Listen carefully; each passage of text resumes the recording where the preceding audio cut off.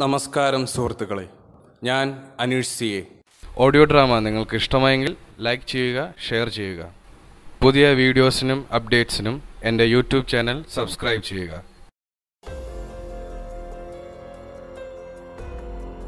സത്യാന്വേഷി നാടകം പ്രശസ്ത ബംഗാളി സാഹിത്യകാരൻ ശരദിന്ദു ബന്ദോപാധ്യായ് ആയിരത്തി തൊള്ളായിരത്തി മുപ്പത്തിരണ്ടിൽ എഴുതിയ ബയോങ്കേഷ് ബക്ഷി നോവൽ പരമ്പരയിലെ ആദ്യ നോവലിന്റെ നാടകാവിഷ്കാരം. തിരക്കഥ സംഭാഷണം നിർമ്മാണം സംവിധാനം. അനീഷ് സി. എ. എല്ലാ കഥാപാത്രങ്ങൾക്കും ശബ്ദം നൽകിയിരിക്കുന്നത് Aneesh C. A. സത്യാന്വേഷി.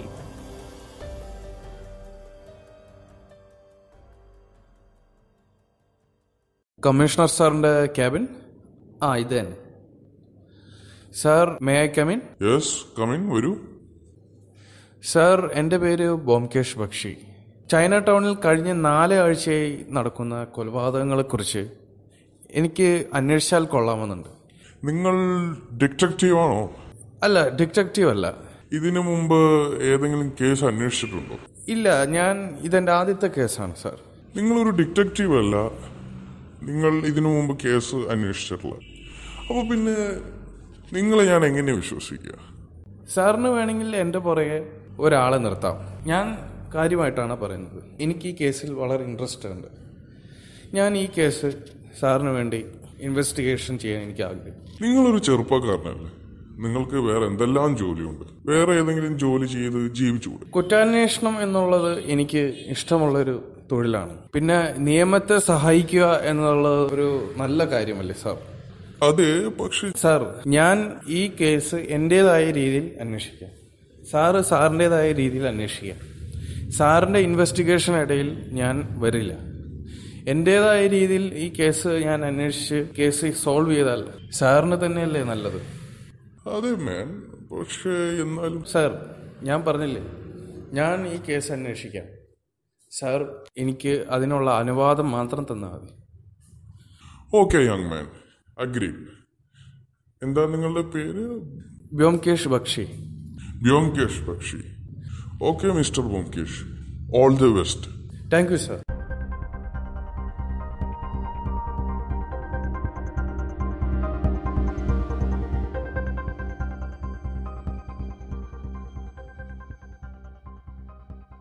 Anukul lodge.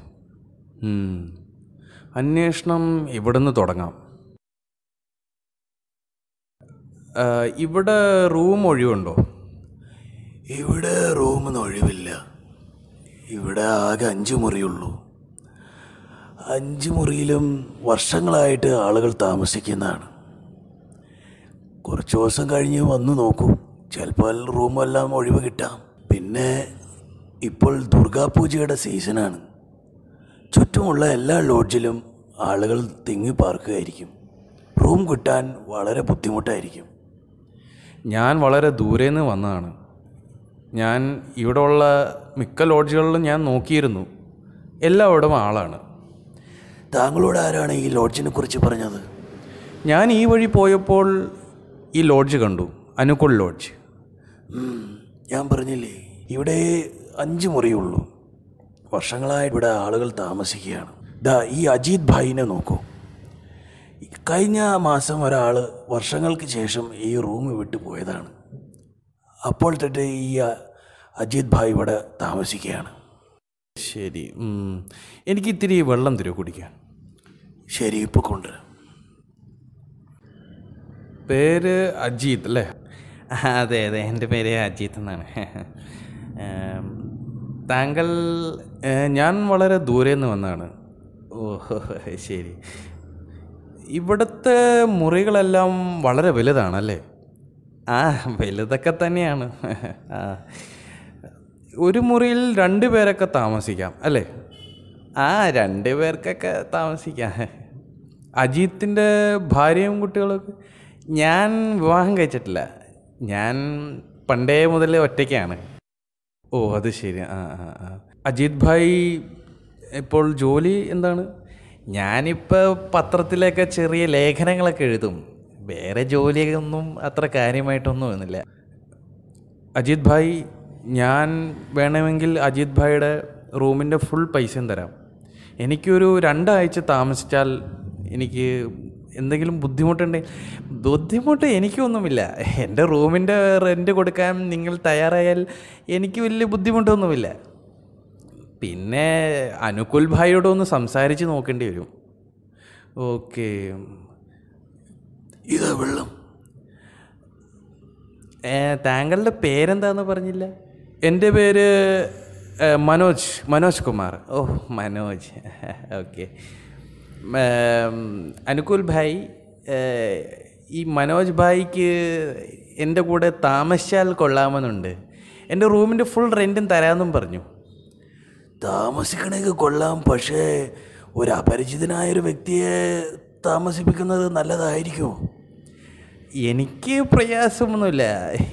രണ്ടാഴ്ചത്തേക്ക് ഉള്ളേ ഉള്ളൂ. രണ്ടാഴ്ച കഴിഞ്ഞാൽ മനോജ് ഭായ് ഇവിടുന്ന് പൊക്കോളൂല്ലോ ആ ശരി. നിങ്ങളുടെ ഇഷ്ടം പോലെ. ഇപ്പോൾ ചൈന ടൗൺ ഭാഗത്തൊക്കെ വളരെ കൊലപാതകങ്ങളും പ്രശ്നങ്ങളൊക്കെയാണ്. പിന്നെ ഏതോ വലിയ മയക്കുമരുന്ന് ഗ്യാങ് ഇവിടെ അവിടെ ഇവിടെയൊക്കെ ഉണ്ട്. ആകെ പ്രശ്നങ്ങളാണ്. ഇത് നിങ്ങൾക്ക് വിശ്വസിച്ച് എനിക്ക് കുഴപ്പമൊന്നുമില്ല. അല്ലേ മനോജ്? ആ എനിക്കും എനിക്ക് ഞാൻ പറഞ്ഞില്ലേ എനിക്ക് ഞാൻ രണ്ടാഴ്ച കഴിഞ്ഞ് ഞാൻ ഇവിടുന്ന് പോകും. ഞാൻ ഇവിടുത്തെ പ്രശ്നങ്ങളായിട്ട് എനിക്ക് വലിയ ബന്ധമില്ല. ഞാൻ വളരെ ദൂരെ നിന്ന് വന്നതാണ്. ശരി നിങ്ങളുടെ ഇഷ്ടം പോലെ ചെയ്യും.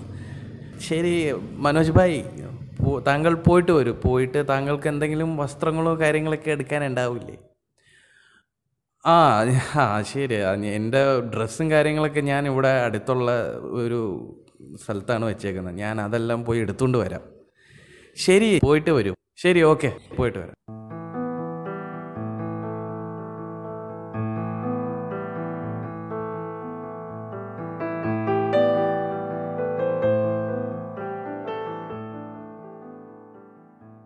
അല്ല മനോജ് ഭായ് ഇത്ര പെട്ടെന്ന് വരുമെന്ന് ഞാൻ പ്രതീക്ഷിച്ചില്ല.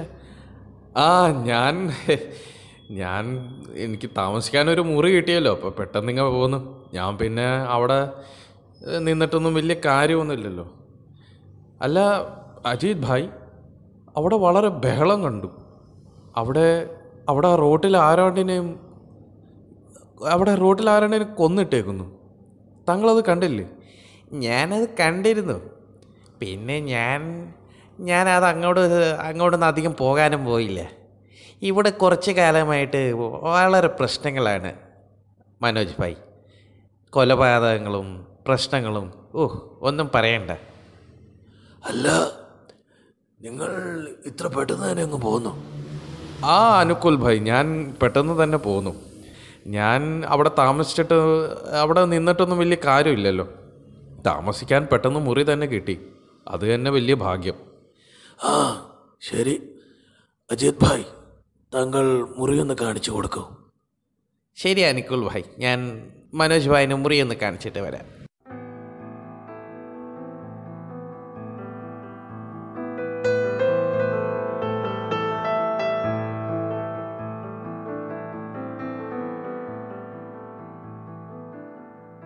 ഇതാണ് മനോജ് ഭായ് എന്റെ മുറി. ഇവിടെ ഒരു കട്ടിലേ ഉള്ളൂ. പിന്നെ ഗോപുവിനോട് പറഞ്ഞിട്ട് ഒരു കട്ടിലും കൂടി ഇടിപ്പിക്കാം ഗോപു ഇവിടുത്തെ ഇവിടുത്തെ വേലക്കാരനാണ്. പിന്നെ ഇതാ ഈ ലൈറ്റിന്റെ സ്വിച്ചിന്റെ അപ്പുറത്ത് ഒരു ബെല്ലിന്റെ സ്വിച്ച് കണ്ടില്ലേ? അതൊന്ന് അമർത്തിയാൽ ഗോപു അടുക്കളയിൽ നിന്നിങ്ങ വരും. ഓ അത് ശരിയാ. പിന്നെ ഇവിടെ അഞ്ച് മുറി എന്നല്ല പറഞ്ഞത്? അതെ അതെ. ഈ അഞ്ച് മുറിയിൽ ബാക്കി നാല് പേരൊക്കെ ആരൊക്കെയാണ്? ഓ അതൊക്കെ വളരെ വർഷങ്ങളായിട്ട് താമസിക്കുന്നവരാ. ആദ്യത്തെ മുറിയിൽ ലോകനാഥ്. അയാൾ അയാളൊന്നും മിണ്ടാറൊന്നുമില്ല. എപ്പോഴും പുസ്തകവും പത്രം വായനയും ഒരു വിചിത്രമായ മനുഷ്യൻ. ഞാനിവിടെ വന്നിട്ട് ഒരു മാസമായി. അയാൾ അധികം അങ്ങനെ സംസാരിക്കുന്നതായിട്ട് ഞാൻ കണ്ടില്ല. പിന്നത്തെ മുറിയിൽ ഗോപാൽ ഭായിയാണ്. അദ്ദേഹം കുഴപ്പമില്ല. നല്ലൊരു സംസാരവും നല്ലൊരു രീതി നല്ലൊരു സുഹൃത്ത് ബന്ധമുള്ളൊരു മനുഷ്യനാണ്. എല്ലാവരുമായിട്ട് അടുത്ത് ഇടപഴകും. പക്ഷെ കഴിഞ്ഞ ദിവസമായിട്ട് അദ്ദേഹം വളരെ വിഷമിച്ചിരിക്കുന്നതായിട്ട് ഞാൻ കണ്ടു. പിന്നെ ഇതിന്റെ തൊട്ടിപ്പുറത്തെ മുറിയിൽ ഇവിടെ ആരാണ്? അവിടെ ഈശ്വർ ഭായ് എന്നൊരാളാണ്. അദ്ദേഹം ഒരു വ്യാപാരിയാണ്. നല്ലൊരു മനുഷ്യനുമാണ് അദ്ദേഹം. പിന്നെ നമ്മുടെ തൊട്ടിപ്പുറത്തെ മുറിയിൽ മുഹമ്മദ് എന്ന് പറഞ്ഞ ഒരാളും. ഈ നാല് പേരേ അല്ലേ ഉള്ളൂ. പിന്നെ വേറെ ആരുമില്ല. അപ്പോൾ എല്ലാ മുറികളിലും ഓരോ ആളുകളുള്ളൂ ഫാമിലി ആയിട്ട് ആരുമില്ല അല്ലേ? അതേ മനോജ് ഭായ് ഞാൻ ഞാനന്ന് ഒന്ന് പുറത്തേക്ക് ഇറങ്ങിയിട്ട് വരാം. ഓക്കെ അജിത് ഭായ് പോയിട്ട് വരും. ഞാൻ അപ്പോഴത്തേക്കും ചായ ചായയൊക്കെ കുടിച്ചിട്ട് ഇവിടെ ഇരിക്കാം. ഓക്കെ ഞാൻ എന്നൊന്ന് പോയിട്ട് വരാം. ശരി.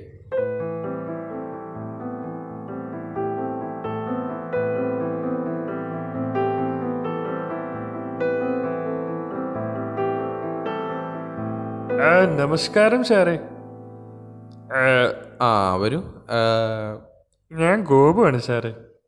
ഇവിടുത്തെ വേലക്കാരനാണ്. അല്ല ഗോപു ഇവിടെ ഇവിടുത്തെ കാര്യങ്ങളെല്ലാം നോക്കുന്നത് ഗോപു ആണല്ലേ? അതെ മനോജ് ഭായ്. എന്റെ പേര് ഇന്നലെ തന്നെ അജിത് ഭായ് എന്നോട് താങ്കളുടെ കാര്യങ്ങളെല്ലാം പറഞ്ഞിരുന്നു. പിന്നെ താങ്കൾക്ക് ഇവിടെ രണ്ടാഴ്ചത്തേക്ക് താമസമുണ്ടാകുമെന്ന് പറഞ്ഞു. ആ ഞാനിവിടെ രണ്ടാഴ്ച കാണും. ഗോപു ഭക്ഷണവും കാര്യങ്ങളൊക്കെ ഇവിടെ ഇവിടെ നല്ല ഹോട്ടലുണ്ടോ? ഇവിടെ ഹോട്ടൽ അത്ര കാര്യമായിട്ടൊന്നുമില്ല പിന്നെ എല്ലാവരും ഭക്ഷണം ഞാനങ്ങനെ എത്തിച്ചു കൊടുക്കാറല്ല. ഇവിടെ താഴെ ഒരു ബെഞ്ചുണ്ട്. അവിടെയാണ് എല്ലാവരും ഭക്ഷണ സമയമാകുമ്പോൾ വന്ന് കഴിക്കും. മനോജ് ഭായും അങ്ങോട്ട് വന്നാൽ മതി. ഇവിടുത്തെ പതിവൊക്കെ അങ്ങനെയാണല്ലേ? ഓ ഇത് ചെറിയ ലോഡ്ജല്ലേ? പിന്നെ അഞ്ച് മുറിയല്ലേ ഉള്ളൂ. ഇപ്പോൾ ഒരു ചായ തരാമോ? ആ കൊണ്ടുവരാൻ മനോജ് ഭായ്. എന്താണ് നിൽക്കുന്നത്? ഇവിടെ മിക്കവരും എനിക്ക് ടിപ്പ് തരാറുണ്ട്. ടിപ്പ് ആ ഇതാ പിടിച്ചോളൂ. എല്ലാവരും ടിപ്പ് തരും പക്ഷേ ലോക്നാഥ് ഭായ് മാത്രം ടിപ്പ് തരില്ല. വല്ലാത്തൊരു മനുഷ്യൻ.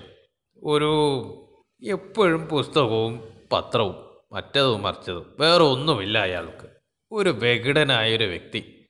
ഇതുപോലൊരു ബോറനെ ഞാൻ എന്റെ ജീവിതത്തെ കണ്ടിട്ടില്ല. ഗോപു പൊക്കോളൂ. എനിക്കൊന്ന് കുളിക്കണം. ശരി മനോജ് ഭായ്. ഞാൻ പോയിട്ട് വരാം.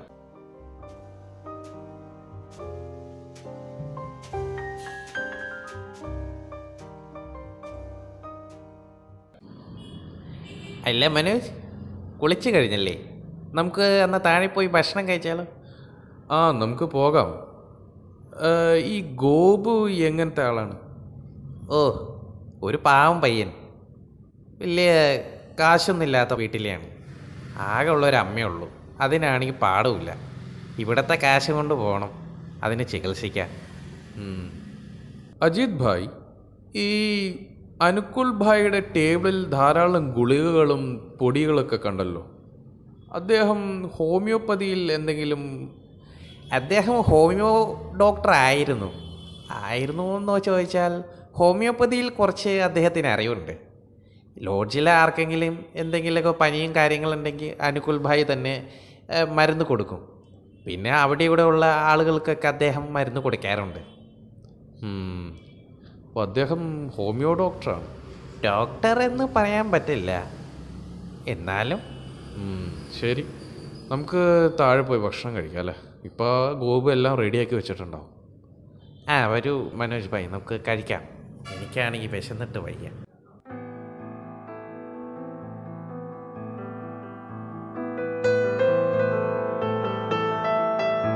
ഇതാ കറി എല്ലാവരും കഴിക്കും. എന്റെ പടച്ചോന്. അല്ല അജീത് ഭായ് ഇന്ന് രാവിലെ ഒരുത്തൻ ചാത്ത് കിടക്കണ കണ്ട നമ്മുടെ റോഡിന്റെ അപ്പുറത്ത്. ആ ഞാൻ കണ്ടിരുന്നു മുഹമ്മദ് ഭായ്. എന്ത് കഷ്ടമാലേ.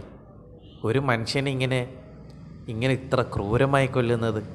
ഇപ്പോൾ എത്ര കൊലപാതകമായി. എട്ടാണോ ഒമ്പതാണോ? പത്തെണ്ണോ ആയി. ഹോ എന്ത് ചെയ്യാനാണ്? എന്റെ പടച്ചോരെ ഇതൊക്കെ എവിടെ ചെന്ന് അവസാനിക്കുന്നത് മുഹമ്മദ് ഭായിക്ക് എന്ത് തോന്നുന്നു? ആരായിരിക്കും ഇതൊക്കെ ചെയ്യുന്നത്? മനോജ് ഭായ് അല്ലേ? ആ മനോജ് ഭായ് എനിക്ക് തോന്നണത് ഇത് ആ മയക്കുമരുന്ന് സംഘത്തിന്റെ അതുമായി ബന്ധപ്പെട്ട കൊലപാതകമായിരിക്കാം. ശരിയായിരിക്കാം. അല്ല ലോക്നാഥ് ഭായ് താങ്കൾക്ക് എന്ത് തോന്നുന്നു! ഇയാളെന്ത് ഇങ്ങനെ? അയാൾ അങ്ങനെയാണ് മനോജ് ഭായ്. അയാൾ ആരോടും മിണ്ടുമില്ല സംസാരിക്കില്ല. വിചിത്രമായൊരു മനുഷ്യൻ. ആ എന്ന് വേണമെങ്കിൽ പറയാം. എന്നാലും പഠിച്ചോനെ ഒരാളിങ്ങനെ കൊല്ലാൻ തോന്നുന്നത് എന്തൊരു എന്തൊരു ക്രൂരതയാണിത്. ഇവനക്ക് പഠിച്ചോണിലൊന്നും വിശ്വാസമില്ലായി ഇങ്ങനെയുള്ളവർക്കൊന്നും ആത്മാവില്ല മുഹമ്മദ് ഭായ്. മനോജ് ഭായ് പറഞ്ഞത് ശരിയാണ്. ഇങ്ങനെയുള്ളവർക്കൊന്നും മനുഷ്യത്വമോ ആത്മാവോ ഇല്ലാത്തവരാണ്.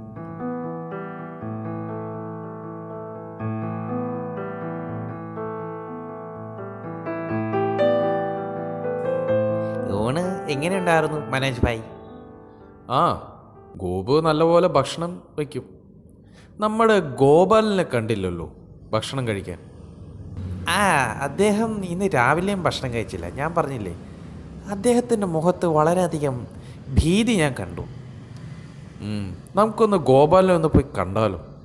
ആ തൊട്ടുപുറത്ത് തൊട്ടിപ്പുറത്ത് മുറിയില്ലേ? നമുക്ക് വാ നമുക്കൊന്ന് പോയി സംസാരിച്ചിട്ട് വരാം. ഗോപാൽ ഭായ്. ഇവിടെ ആരുമില്ല. നിങ്ങളൊന്ന് പോകണം മിസ്റ്റർ ഓ അയാൾ സംസാരിക്കാൻ പോലും തയ്യാറാവുന്നില്ല.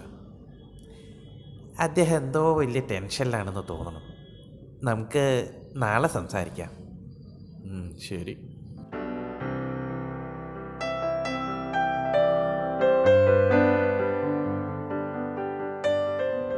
അല്ല മനോജ് ഭായ്. ഇതെന്താ തറയിൽ മലന്ന് കിടക്കുന്നത്? ആ കട്ടിലിൽ കയറി കിടക്കൂ. മിണ്ടാതിരിക്കൂ. അജിത് ഭായ് താഴെ ആരോ സംസാരിക്കുന്നുണ്ട്. ഗോപാലിന്റെ റൂമിൽ പോയി ഒന്ന് നോക്കൂ. ഏ? ഗോപാലിന്റെ റൂമിൽ പോയി ഒന്ന് നോക്കൂ ചെല്ലു.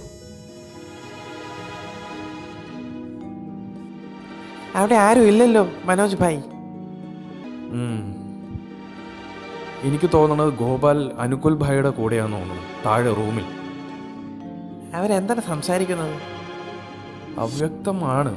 എന്നാലും നാളെ നമുക്ക് ഗോപാൽ ഭായിയോട് കുറച്ച് സംസാരിക്കേണ്ടി വരും. അദ്ദേഹം വളരെ ടെൻഷനിലാണ്. എനിക്ക് തോന്നുന്നത് ഇവിടുത്തെ കൊലപാതകങ്ങളെക്കുറിച്ച് അദ്ദേഹത്തിന് എന്തോ ഒരു ക്ലൂ കിട്ടിയിട്ടുണ്ടെന്ന് തോന്നുന്നു.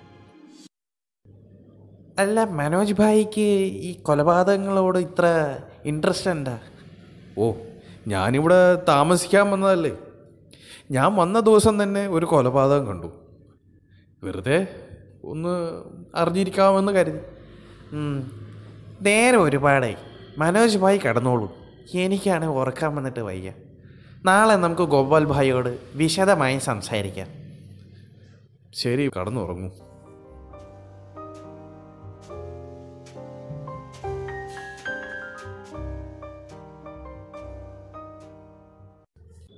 അജിത് ഭായ് അജിത് ഭായ് ഏ എന്തു പറ്റി? എന്തു പറ്റി? എഴുന്നേക്കോ എഴുന്നേക്കോ. എന്തു പറ്റി? ഗോപാൽജി കൊല്ലപ്പെട്ടു. ഏ എന്ത്? വേഗം വരും വേഗം വരും. എന്റെ പഠിച്ചോനി ഇപ്പൊ കൊലപാതകം ലോഡ്ജിന്റെ അകത്തായ ഇത്രയും കാലം ലോഡ്ജിന്റെ പുറത്തായിരുന്നു. എന്റെ പൊന്നെ എന്താണ് കാണുന്നത്? ഓഹ് വളരെ വളരെ ക്രൂരമായിട്ടാണ് കൊന്നിരിക്കുന്നത്. ഏ പോലീസിനെ വിളിക്കാം നമുക്ക്. ആ പോലീസിനെ എല്ലാവരും വിളിക്കൂ. വേഗമാട്ടെ ആ അങ്ങ് മാറിയേക്കോ. എല്ലാവരും അങ്ങ് മാറിയേക്കോ. ആ.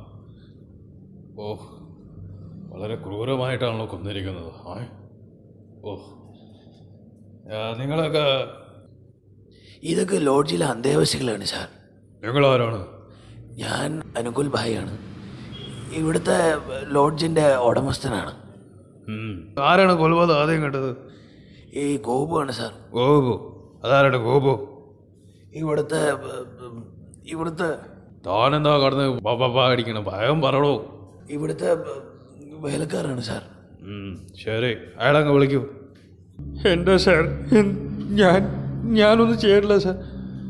അതിന് തന്നോട് ഞാൻ വല്ല ചെയ്തെന്ന് ഞാൻ പറഞ്ഞോ? ഇവിടെ താൻ ഈ കൊലപാതകം താനല്ല ആദ്യം കണ്ടത്? അതെ സാർ ഞാനാണ് ആദ്യം കണ്ടത്. എന്നെ ഒന്നും ചെയ്യില്ല സാർ ഓ തന്നെ കൊണ്ട്. എടോ ഈ കൊലപാതകം താൻ എപ്പോഴാണ് കണ്ടതെന്ന് ഗോപാൽ ഭായ് ഇന്നലെ ഇന്നലെ ഇന്നലെ ഭക്ഷണമൊന്നും കഴിച്ചില്ല. ആകെ വിഷമത്തിലായിരുന്നു. ചായ പോലും കുടിച്ചില്ല. ചായ വേണമെന്ന് ചോദിക്കാൻ വേണ്ടി ഞാൻ ഇവിടെ വന്നതാണ് അപ്പോഴാണ് അദ്ദേഹം മരിച്ചു കിടക്കുന്നത് കണ്ടത്. ഇയാളുടെ റൂം തുറന്നു കൊടുക്കുമായിരുന്നു ആ സമയത്ത്. അതെ സാറേ എന്റെ ഒന്നും ചെയ്യല്ലേ സാറേ ഓ ഇയാളൊന്ന് മാറ്റണോ ഗോപു അങ്ങ് പോകും. ചെല്ല്. എല്ലാവർക്കും ഒരു ചായ ഇട്. ചെല്ല്. ഈ ചായ ഈ സമയത്ത് ആര് കുടിക്കാനാ?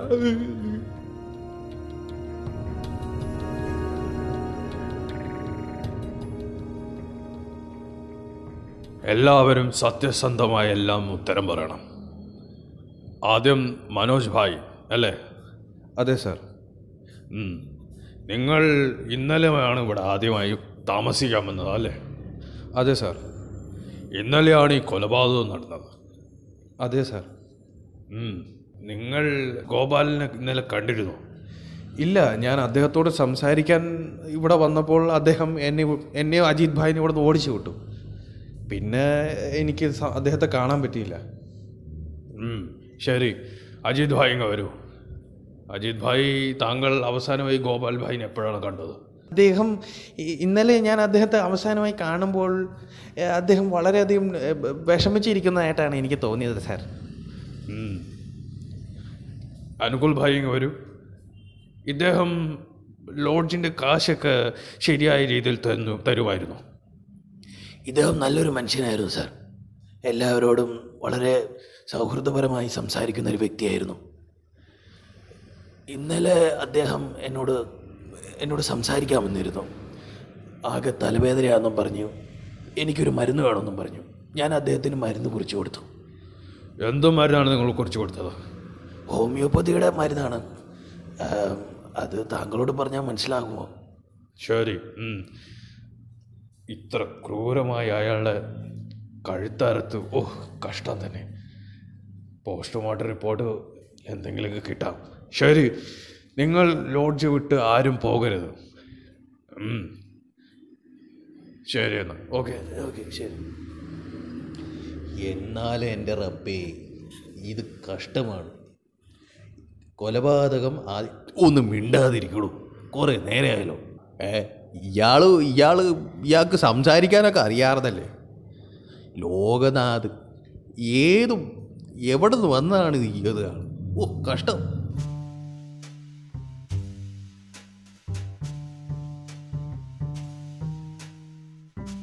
അജിത് ഭായ്. ആ പറയൂ മനോജ് ഭായ്. രണ്ട് ദിവസത്തിനുള്ളിൽ ഗോപാൽ ഭായിയുടെ കൊലപാതകനെ എനിക്ക് പിടിക്കാൻ കഴിയും. ഏ? അതെങ്ങനെ? കൊലപാതകം ചെയ്ത വ്യക്തി നമ്മുടെ ഉള്ളിൽ തന്നെയാണ് അതെങ്ങനെ പറയാൻ കഴിയും? പുറത്തുനിന്ന് ആരെങ്കിലും വന്ന് കൊന്നതായിരിക്കില്ലേ? അത് എനിക്കത്ര വിശ്വസിക്കാൻ പറ്റുന്നില്ല. കാരണം ലോഡ്ജിന്റെ മെയിൻ ഡോറ് രാത്രി തന്നെ പൂട്ടുന്നതാണ്. അടുക്കളയിൽ ഗോപു ഉണ്ടാകും. പിന്നെ ആരാണ് പുറത്തുനിന്ന് അകത്തേക്ക് വരിക? അത് ശരിയാണ്. പക്ഷേ എന്നാലും ഒരെന്നാലുമില്ല അജിത് ഭായ്. നമ്മുടെ ഇടയിൽ തന്നെയുണ്ട് കൊലപാതകി. നമുക്ക് കൊലപാതകിനെ കണ്ടുപിടിക്കാൻ വലിയ ബുദ്ധിമുട്ടൊന്നും ഉണ്ടാവില്ല. എല്ലാം മനോജ് ഭായിയുടെ ഇഷ്ടം.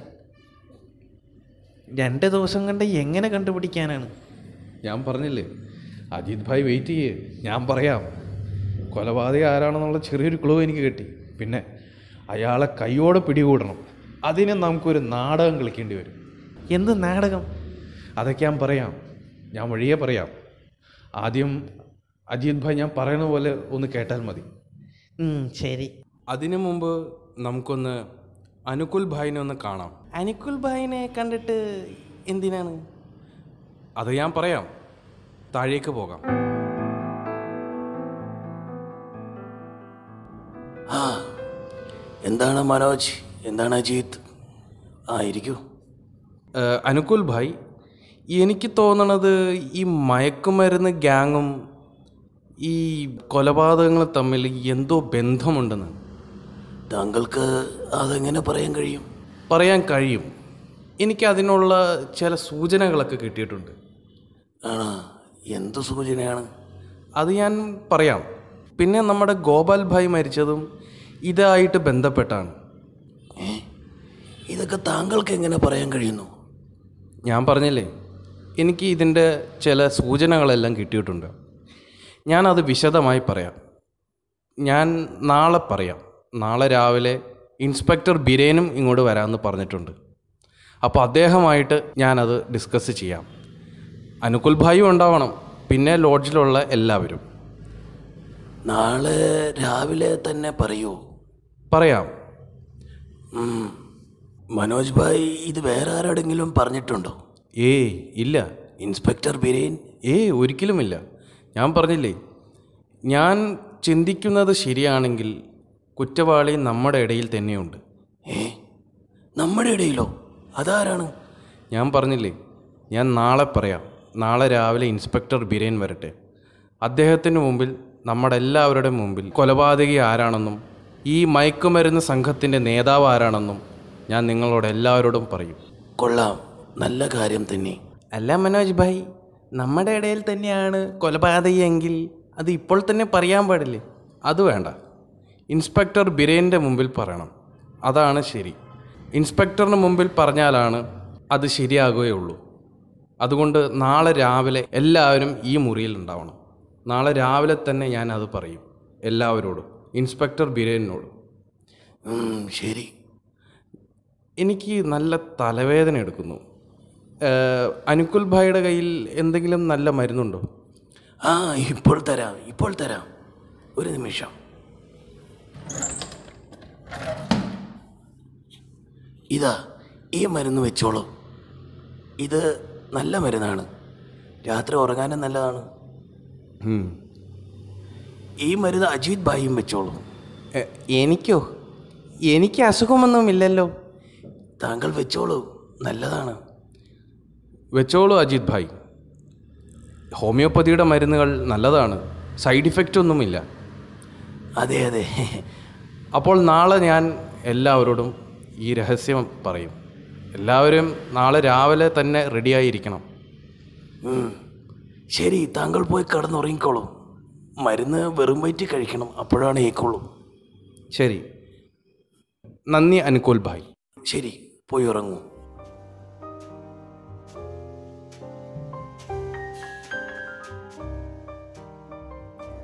അല്ല മനോജ് ഭായ് ഇതൊക്കെ എങ്ങനെ ഞാൻ പറയാം. പിന്നെ ഞാൻ നാടകത്തിന്റെ കാര്യം പറഞ്ഞില്ലേ? അത് ഇപ്പോൾ ഇന്ന് രാത്രി അരങ്ങേറും. എന്ത് ഈ പറയുന്നത്? ഞാൻ പറയാം. ഇപ്പോൾ സമയം ഒമ്പത് മണി. ഇതാ ഈ രണ്ട് വടികൾ ഞാൻ കരുതിയിട്ടുണ്ട്. ഒരെണ്ണം അജിത് ഭായ് കയ്യിൽ വെക്കണം. ഇത് ഇതെന്തിനാണ്? ഞാൻ പറയാം. കൊലപാതകി ഇന്ന് രാത്രി തന്നെ ഈ മുറിയിലേക്ക് വരും. എന്തൊക്കെയാണ് മനോജ് ഭായി പറയുന്നത്? ഞാൻ പറഞ്ഞില്ലേ ഈ വടി അജിത് ഭായ് കയ്യിൽ കരുതൂ. എന്നിട്ട് അവിടെ ഉറങ്ങുന്നത് പോലെ കിടക്കുക. കൃത്യം ഒരു മണി രണ്ട് മണിയാകുമ്പോഴത്തേക്കും കൊലപാതകി ഈ മുറിയിൽ വരാതിരിക്കില്ല. പക്ഷേ പേടിക്കണ്ട. അജിത് ഭായ് കടന്നോളൂ. താഴെ പോലീസും വരും. ഏ? പോലീസോ? അതെ പോലീസിനോട് ഞാൻ അറിയിച്ചിട്ടുണ്ട്. താങ്കൾ കടന്നുറങ്ങും.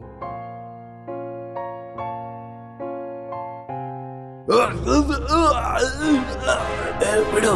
എന്നെ വിടൂ. വിടൂ എന്നെ. അനുകുൽ ഭായ് താങ്കൾക്ക് കത്തി താഴെടാ. ഞാൻ അവിടെ കടന്നിട്ട് പോലുമില്ല. അത് വെറും മൂന്നാൽ തലയണ മാത്രമാണ്. ഞാൻ ഇവിടെ ഈ അലമാരിക്ക് പുറകെ ഒളിച്ചു നിൽക്കുകയായിരുന്നു. താങ്കളെ കാത്. എന്തൊക്കെയാണ് ഈ പറയുന്നത്? അജിത് ഭായ് ആ ജനല തുറക്കൂ പോലീസ് അവിടെ കാത്തു നിൽക്കുന്നുണ്ട്. അവരകത്തേക്ക് പോന്നു എന്തൊക്കെയാണ് താൻ പറയുന്നത്? Inspector Biren. Yes mister Bajoj ഈ അനുകുൽ ഭായിനെ അറസ്റ്റ് ചെയ്യൂ. വ്യോംകേഷ് ബക്ഷിയെ കൊല്ലാൻ ശ്രമിച്ചതിന് വ്യോംകേഷ് ബക്ഷിയോ? അതാരാണ്? ഈ ഞാൻ തന്നെ. ഇയാൾ ഇയാൾ കള്ളനാണ് സാർ ഇയാൾ വന്നപ്പോൾ തൊട്ടാണ് ഇവിടെ കൊലപാതകങ്ങളും പ്രശ്നങ്ങളും ഉണ്ടായത്. ആദ്യം പറയുന്നു ഇയാൾ മനോജാണെന്ന്. ഇപ്പോൾ പറയുന്നു ഇയാൾ ബോംകേഷ് ബക്ഷിയാണെന്ന്. ഇൻസ്പെക്ടർ ബിരേൻ ഈ മരുന്നിന്റെ കുപ്പിയും താങ്കൾ പിടിക്കൂ. ഇതിനുള്ളിൽ ഉറപ്പായിട്ട് മോർഫീൻ ഉണ്ടാവും. ഏ എന്താണ് ഈ പറയുന്നത്? എന്നെ വിടൂ എന്നെ വിടൂ. എടാ നിന്നെ ഞാൻ വെച്ചേക്കില്ലടാ. നിന്നെ ഞാൻ തീർത്ത് കളയും. കണ്ടോ? ഇങ്ങ വാടാ. നിന്നെ ഞാൻ നല്ല രീതിയിൽ മരുന്ന് തീറ്റിക്കാം. വിടറാ വിടറാ വിടരാ വിടറാ കയ്യാങ്കളിക്ക് നിന്നാൽ നല്ല ഇടി വെച്ച് തരും. മര്യാദയ്ക്ക് ജീപ്പിലേക്ക് കയറിക്കോ. അനുകൂൽ ഇനി രക്ഷപ്പെടാൻ ഒരു വഴിയില്ല. എടാ ബോംകേഷ് നിന്നെ ഞാൻ വെറുതെ വിടില്ല. കണ്ടോടാ.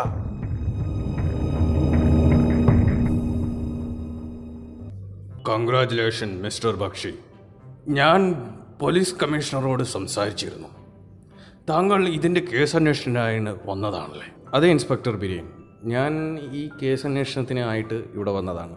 അല്ല മനോജ് അല്ല ബോംകേഷ് ഈ കൊലപാതകങ്ങളുടെ പിന്നിൽ ഈ അനുകൂൽ ഭായി തന്നെയാണെന്ന് എങ്ങനെയാണ് മനസ്സിലായത്? ഇൻസ്പെക്ടർ ബിരേൻ അജിത് ഭായ് ഞാൻ കഴിഞ്ഞ ദിവസം തന്നെ ഗോപാൽ ഭായിയുടെ മരണത്തിന് മുമ്പത്തെ രാത്രിയിൽ ഗോപാൽ ഭായ് അനുകുൽ ഭായിയുടെ അടുത്ത് ചെന്ന് സംസാരിക്കുന്നതായിട്ട് ഞാൻ കിട്ടു.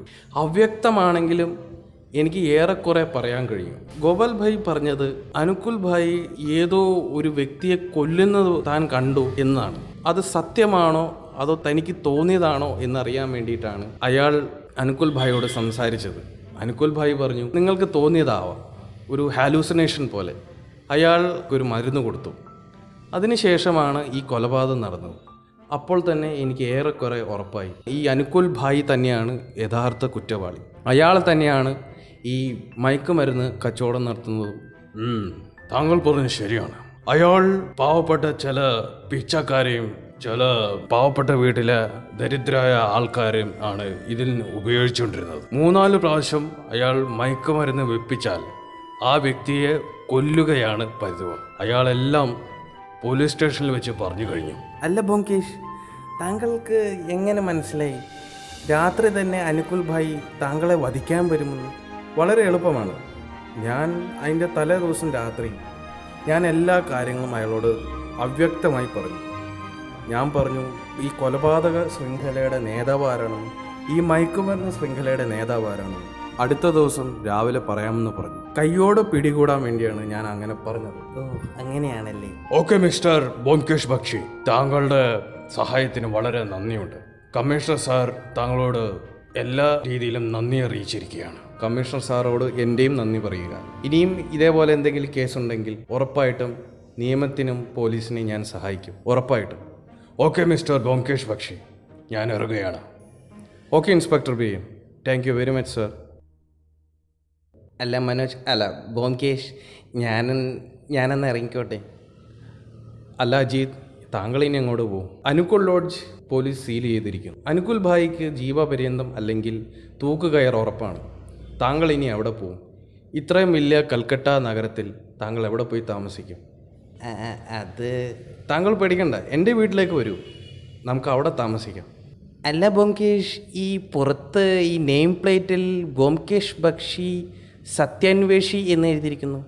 ഈ സത്യാന്വേഷി എന്താണ്? അല്ല ഈ ഡിറ്റക്റ്റീവ് എന്നത് ഒരു പഴഞ്ചൻ പേരാണ്. കുറ്റാന്വേഷകൻ എന്നുള്ളത് ഒരു ഒരു ബോറിംഗ് ആയിട്ട് തോന്നുന്നു. അപ്പോൾ പിന്നെ സത്യാന്വേഷി സത്യത്തെ അന്വേഷിക്കുന്നവൻ. അതല്ലേ ഏറ്റവും നല്ല പേര്. അതുകൊണ്ട് ബോംകേഷ് ബക്ഷി എന്ന സത്യാന്വേഷി. കൊള്ളാം കൊള്ളാം. അപ്പോൾ ബോംകേഷ് ഞാൻ അനുക്കോൾ ലോഡ്ജിൽ പോയി എന്റെ വസ്ത്രങ്ങളും സാധനങ്ങളും എടുത്തുകൊണ്ട് വരട്ടെ? തീർച്ചയായും അജിത്ത് താങ്കൾ പോയി എടുത്തുകൊണ്ട് വരും. പിന്നെ എന്റെയും സാധനങ്ങൾ അവിടെ തന്നെ ഉണ്ട്. Okay okay. അതും ഞാൻ കൊണ്ടുവരാം ബോംകേഷ്. ഞാൻ പോയിട്ട് വരാം. ശരി പോയിട്ട് വരൂ.